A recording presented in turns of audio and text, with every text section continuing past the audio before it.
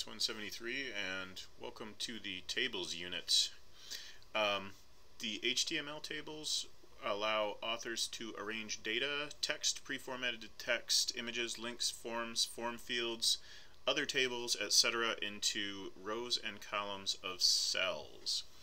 Um, it's basically like a spreadsheet. If you have any um, if you have any experience with say Excel or something like that, this should be no problem with, for you. It's not too tough of a, a unit. Um, one thing you don't want to do is you don't want to use tables for laying out your design. You want to use CSS for that.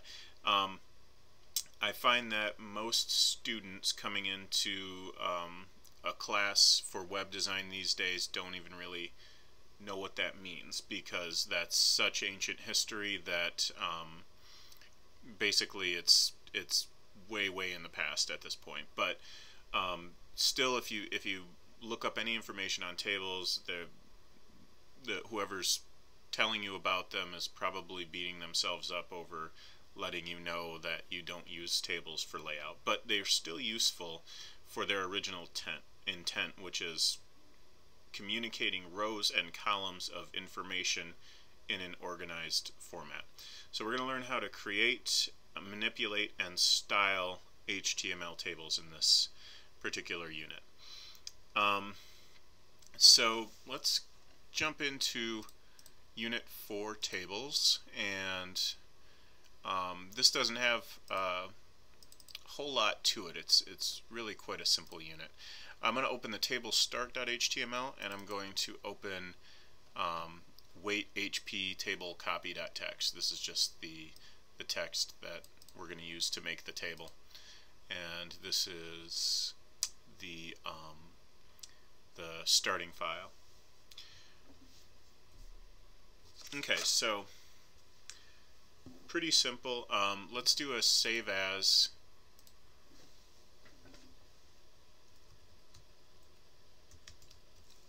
Whoops. Let's just call it index.html and I can close that table start. And probably a good idea to give it a title. Let's call it um, horsepower to weight ratios.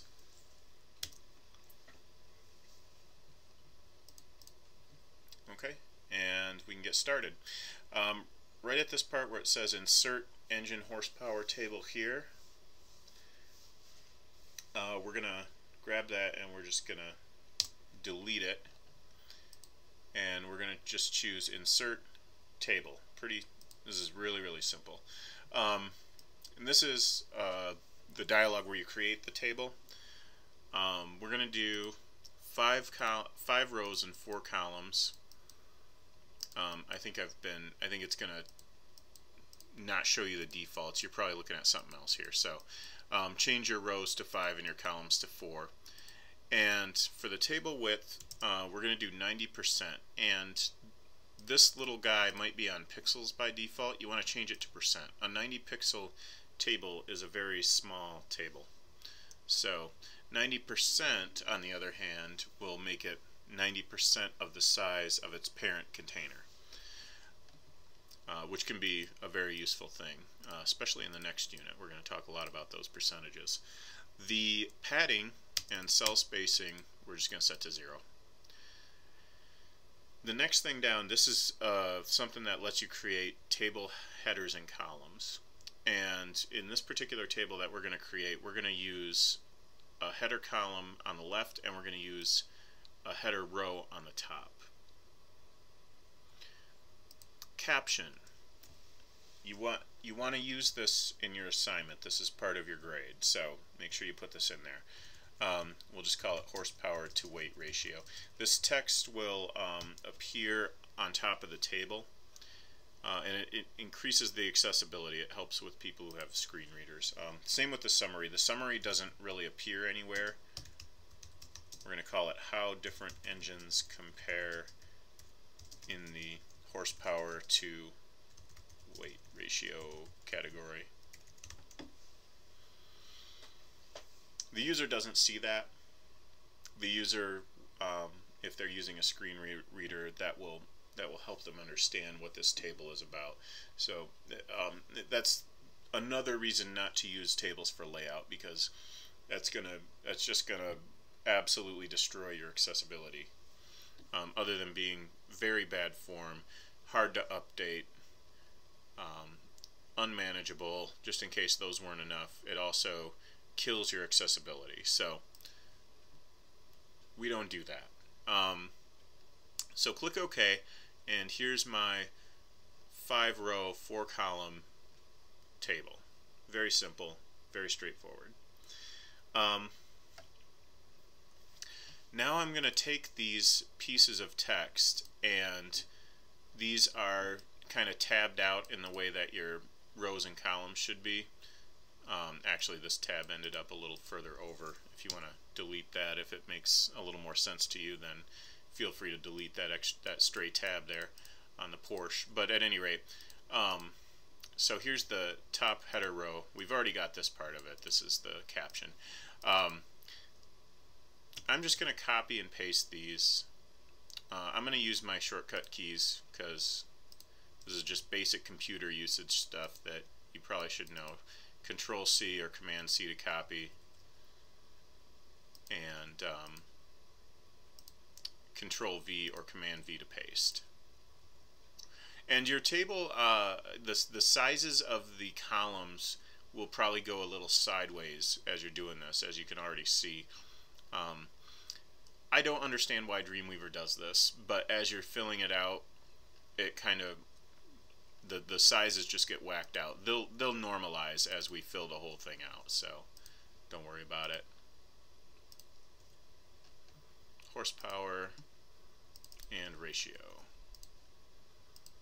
Okay, and I'm just going to go through the table. I'm going to do this kind of quick because, you know, there's no reason to belabor the point. This is just basic stuff. I'm just copying and pasting.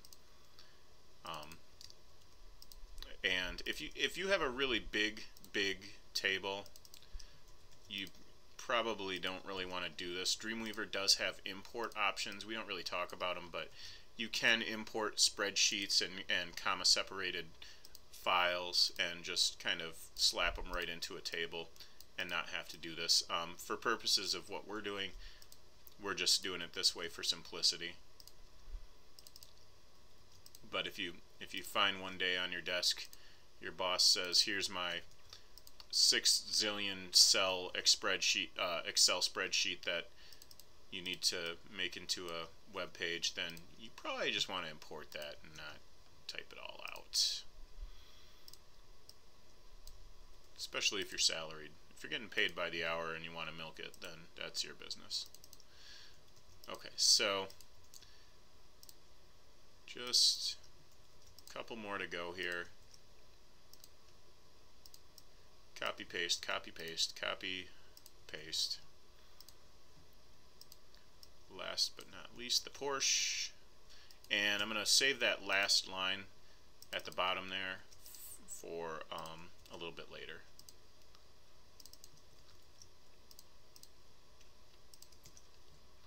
Two seventeen.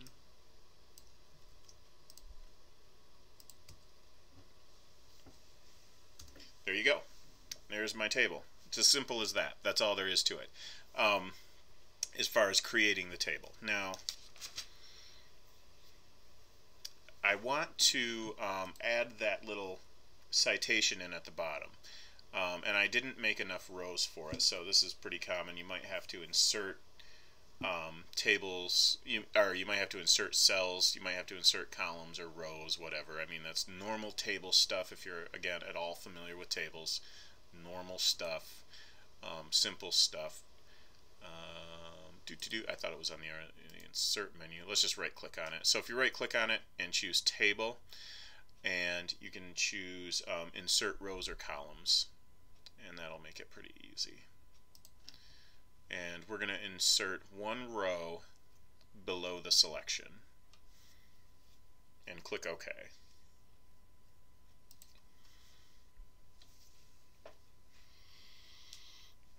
Okay, now this part at the bottom that says the source faster than you.com, we can copy that and paste it, but I don't want it to be just in one cell off to the side. I want it to be kind of centered in the whole table. So um, I actually want to select all these cells on the bottom row and you can do that just by click dragging, just like that. It's a real simple thing. And I'm going to merge them down here in the properties panel. Um, it says merges selected cells using spans. So I'll click merge and now our source is actually centered. Okay, so pretty basic. Um, table is there. The table is um, a table. It works. Doesn't look that great. Looks pretty plain here. So let's use it. Let's get some CSS going here. I'm going to go to my CSS designer and I'm going to add a source. We'll just review this. This should be pretty simple. Create a new CSS file and we'll just call it tab not tables.com, tables.ccs. so actually if you use a .com extension on a PC, um, I don't know if they even count that anymore as an executable, but um, that might might break things. So don't use that. Use CCS. Um, I'm sorry, for heaven's sakes. CSS is what I meant. I'm trying to call it College for Creative Studies, I guess. Alright, so CSS. Um, and click OK. And let's go ahead and add our first selector. And we're just going to make a, a rule for the table.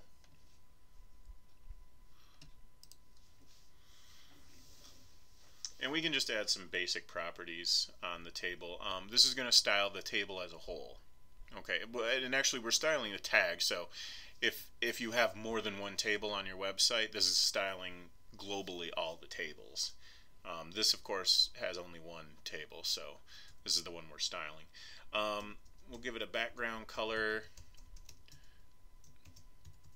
of a light gray. I'm going to use um, EEE. Um, but by the way, these values are arbitrary. Um, I'm just kind of illustrating how to do this. Uh, I'm going to float it right.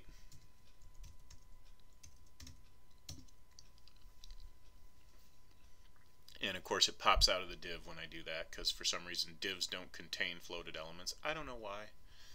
I have no idea. But we'll fix that in a minute. Um, we're going to give it a top margin of 40 pixels push it down a little bit, give it some breathing room. And we are going to redefine the width now as 500 pixels.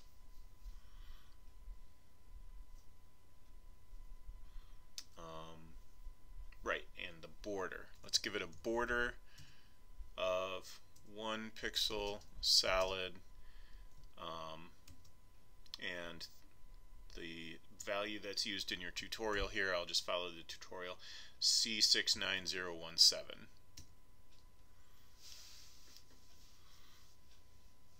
Cool. Alright, so there's our table style, just as an overall, you know, general style. Um, I'm going to add a style now for the caption, because there was a caption created. That gives us a caption tag to style. and we're going to give it a background color of that same light gray value. We're going to give it a font size, and I'm going to use an em for this font size just for fun, 1.5 em, and that pumps up the font size a little bit, makes it nice and big. And let's give it a font weight of bold. There we go. So, and the bottom row is being treated as a header, and that's giving it a little too much importance.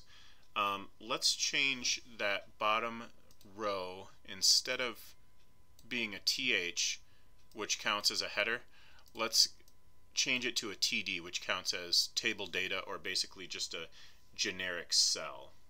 Um, and why don't we just do that in code view?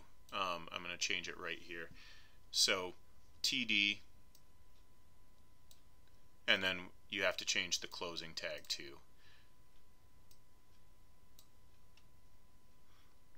So that changes it to a regular table cell now.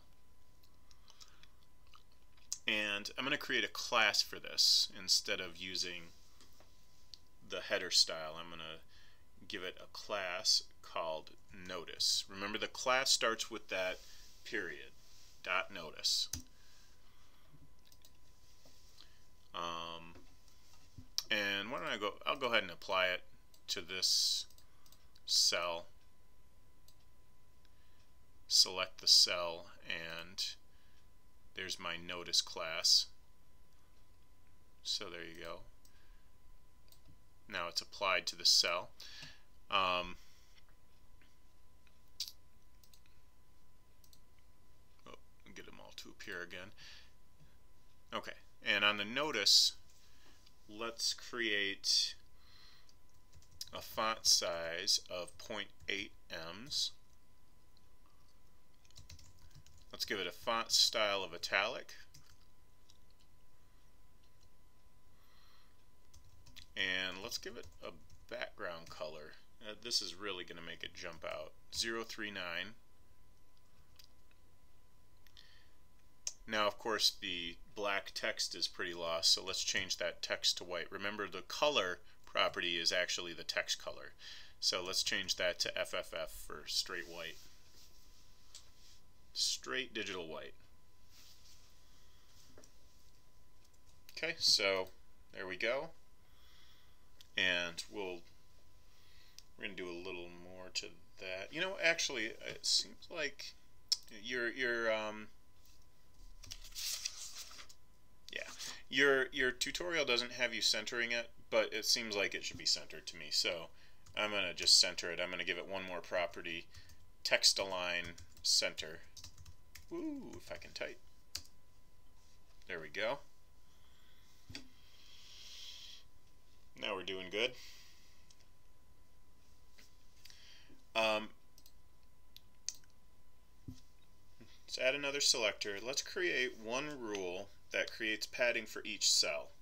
That includes the header cells, the, the regular cells, and the caption cell. So it's pretty easy. Um, we're going to do them all in one shot, and we're going to do it by typing it this way. TD, that stands for table data, comma, TH, comma, that stands for table header, and then caption. So, and then this, these commas are like we're, we're applying these styles to each of these tags as if we made three separate styles, one called TD, one called TH, and one called caption, but we're just doing them in one shot. It's a little different than this. You don't want to type it this way with no commas because this means that we're we're now styling all the caption tags that are within TH tags that are within TD tags. And that's not what we're looking for. We won't be styling anything if we do that. So there's our there's our selector, and I'm just going to give it a padding of 5 pixels. And I'm going to, uh -huh, of course, I'm going to give it a text align center. Oops. Okay, so I didn't actually need to do that previous centering. Should have known I thought of that. Okay, whatever. Doesn't matter. Um, and let's do one more. Uh, we're going to create a compound selector for table header dot left align th dot left align so all of these classes within table headers that'll be pretty easy to apply and we will give it a text align left and that's all it needs um,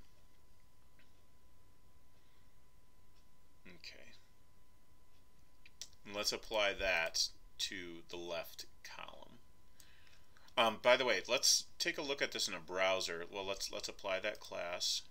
There's the left align class.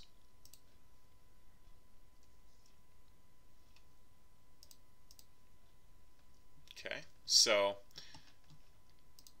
um, all of this is going to, all of these borders that you see here are going to disappear in a browser.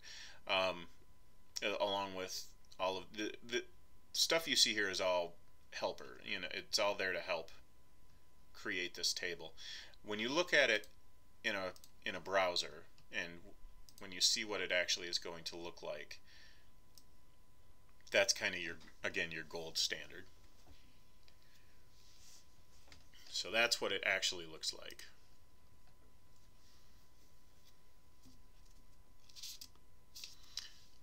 Okay, now I want to insert the motorcycle at the end of the image and at the end of the document and it can be rather tricky to get your cursor right at the actual end of the document. Also I've got a stray tag here that doesn't belong. Um, so you might want to do this in code view. You can you can put your cursor right here and, and insert it or you can put your cursor in code view and insert it. Um, so I think I want to get rid of that opening and closing p tag because that's just a waste. And then let's insert image image.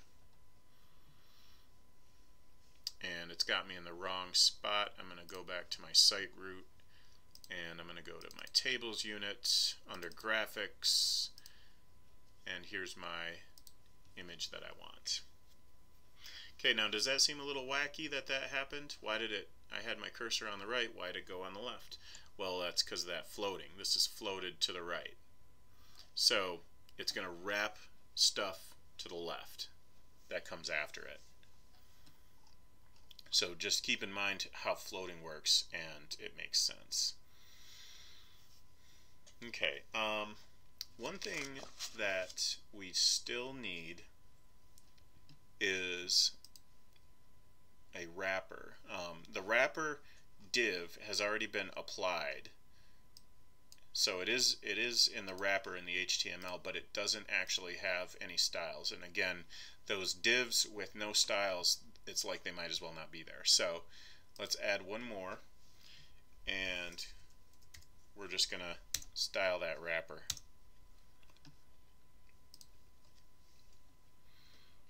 And we'll call it We'll give it a background color FDF731. We're going to give it a border 2 pixel solid and it's going to be black which is 000. Um, we're going to give it a margin left of auto and a margin right of auto so that it's centered. Um, and that, again, that doesn't do anything without the width actually being set. We're going to give it a width of 730 pixels. So that looks like what we're looking for. Um, it's a little crowded with the text. Again, if you give it a background color or a border, it's going to crowd that text. So um, we're going to need a padding. We're going to give it 15 pixels. And we're going to need we're just going to give it a little bit of top margin just to push it down some. Uh, we're going to give it 60 pixels top margin. And we'll do a save all. Take a look in the browser here. Okay, so that's basically it. As you can see, pretty simple stuff. Um, all you need to know is insert the table, set the columns and rows, and style it. Um, you know, just use the the styling rules that you've learned, the CSS rules that you've learned are all being used in the same way that you've learned. It's just a matter of applying it to a new element that you haven't used yet, and that's kind of the way it's going to be. Um, in a you know, we're going to get into some hocus pocus, but that's kind of ultimately the foundation that you're going to build from. Okay, so have fun with your tables unit. Pretty simple unit, hopefully. Shouldn't have too much problem with it. And uh, have at it.